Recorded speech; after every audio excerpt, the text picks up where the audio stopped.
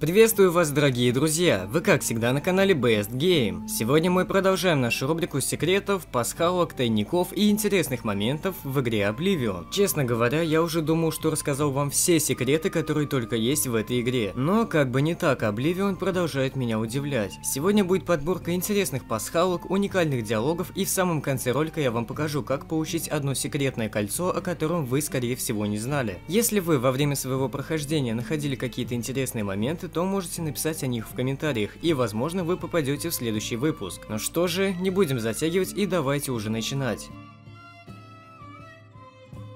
Итак, думаю, каждый из вас хотя бы один раз встречал такого вот каджита, который захочет вас ограбить. Его можно встретить либо на мосту возле имперского города, либо на какой-нибудь другой локации. Тут есть два варианта, либо отдать ему золото, либо дать ему хорошего леща. И, возможно, вы не знали, что если одеть серый капюшон Ноктюрнал и подойти к нему, то он не станет на вас нападать, и с ним появится уникальный диалог. Не может быть! Серый лис, какая честь! А Илейские руины? Там главное остерегаться ловушек. Им тысячи лет, но они все еще работают. Потрясающе! Да, мы сможем с ним даже нормально поговорить, и он потом не будет на нас нападать и просто пойдет по своим делам. И тут есть еще один интересный момент. Если вы прошли полностью основное дополнение Рыцарей 9 и вы стали божественным крестоносцем, то тогда он тоже не будет на вас нападать и появится еще один уникальный диалог. Well, well, if it isn't the Holy Crusader himself. Следующий интересный момент связан с Темным Братством. Если вы вступили в эту гильдию и играете за Органианина, то при разговоре с некоторыми ее членами будет уникальные диалоги. К примеру, если вы поговорите с Тейнавой, то у него будет уникальное приветствие, которое отличается от других рас. И тут будет не только уникальное приветствие, но он еще и сразу же нам расскажет о темных ящерах. Хотя, если бы мы играли за обычную расу, то мы смогли бы о них узнать только во время выполнения одного секретного квеста. Органианин, но не из темных ящеров. Сколько же тебе пришлось пережить в детстве? Слава Ситису, ты наконец-то дома. Добро пожаловать!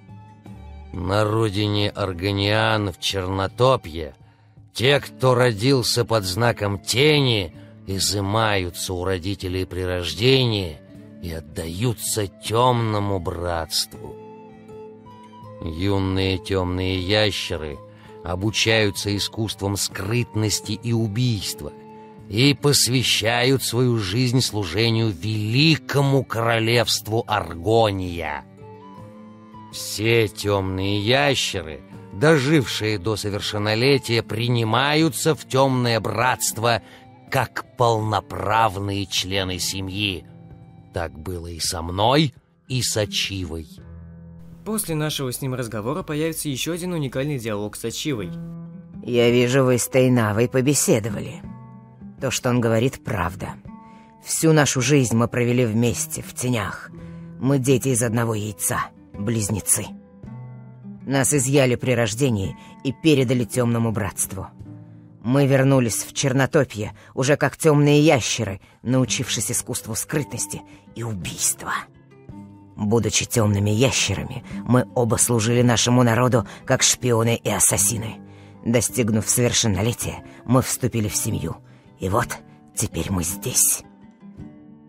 Следом у нас идет не очень насыщенный, но очень приятный тайничок, который вы 100% пропустили. Чтобы его найти, для начала отправляемся в портовый район имперского города и находим там плавучую таверну. Там нам нужно будет снять комнату за несколько золотых монет, и мы спускаемся вниз и идем туда. И тут на столе нам нужно будет обратить внимание на глиняный кувшинчик, внутри него есть мешочек. Мы этот кувшин убираем, и как вы видите, тут есть мешочек, который парит в воздухе. Внутри него мы найдем золото, различные камушки и прочие драгоценности. Конечно, ничего суперценного ценного тут нету, но все равно тайник очень классный. Теперь нам стоит отправиться в Чейзин Холл, чтобы найти наш следующий интересный момент. Вы наверняка все знаете, что в этом городке проживает один алкаш, которого зовут Аудос Отран. С ним связан один интересный квест, где стражник вымогает деньги, ну вы наверняка о нем уже знаете. Так вот, во время выполнения этого квеста нам нужно будет по-любому поговорить с этой тетенькой, и ей можно задать вопрос, что не так с этим мужичком.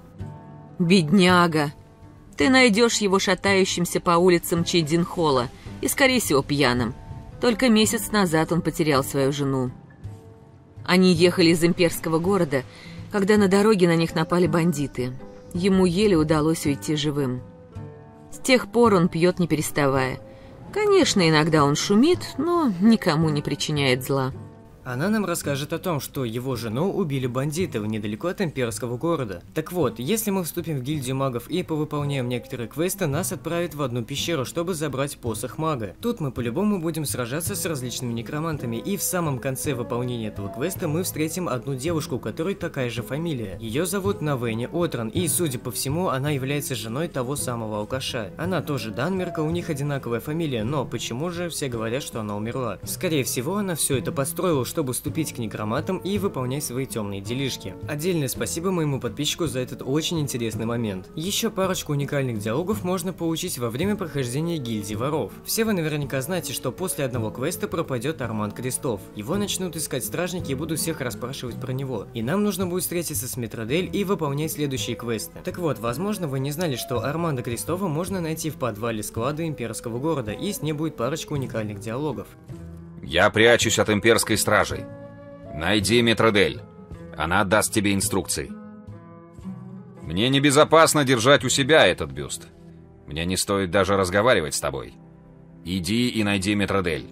Она даст тебе необходимые инструкции. Предпоследний тайничок в этом выпуске, и находится он на Великих Дрожащих островах, а если быть точнее, то в лагере потерянного времени. Сама локация расположена совсем недалеко от Астроконечного утеса. Итак, чтобы найти наш тайничок, нам нужно будет немного пробежать и найти вот этот вот мост. Спускаемся вниз, и тут мы найдем урну, в которой на высоких уровнях всегда попадается какая-нибудь зачарованная побрякушка. Так что обязательно сюда загляните, чтобы получить какую-нибудь зачарованную броню или, возможно, даже оружие. Ну и наконец, последний секрет в этом выпуске. Как я вам обещал, я сейчас вам покажу, как получить уникальное кольцо, которое вы 100% пропустили. Для начала отправляемся в имперский город и находим там магазинчик под названием Красный Алмаз. Заходим вовнутрь здания и используем специальный чит, с помощью которого мы сможем входить сквозь текстуры. Тут мы найдем сундучок, его мы взламываем и находим призрачное кольцо. Оно повышает нам скрытность, взлом, дает нам хамелеон, перышко и понижает нам силу и выносливость. Купить это кольцо у нас никак не получится, потому что этот магазин по сути хотели переделать во что-то другое. И в итоге тут все повырезали, сделали другой магазин, а про данное кольцо просто забыли. По идее, его можно купить, если скачать специальные патчи, но в оригинальной стимовской версии это сделать невозможно. Ну что ж, дорогие друзья, сегодняшний ролик подходит к концу, я надеюсь, что вам было интересно. Я постарался вам показать самые интересные, по моему мнению, секреты, которые я нашел сам и которые вы мне писали в комментариях. Ну что же, всем большое спасибо за просмотр, всем удачи и всем пока!